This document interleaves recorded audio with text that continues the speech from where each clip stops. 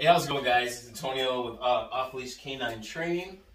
I'm here with my newest member. Her name is Lucy. She's a one year old golden retriever. She's here with me for the two weeks board and train for issues such as jumping, uh, pulling on the leash, chewing on objects such as toys and plants, things that don't belong to her, and just all around being that baby golden retriever energy. Um, let's start with some of the things she does know. We'll go from there. Lucy sit. Good sit. Good sit, Lucy. Lucy down. Lucy down. Lucy. Lucy place. Lucy place.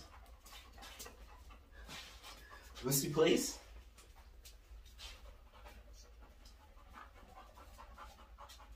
Lucy come. Good come. Good come.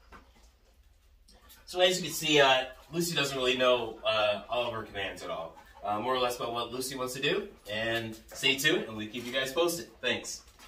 Lucy, off.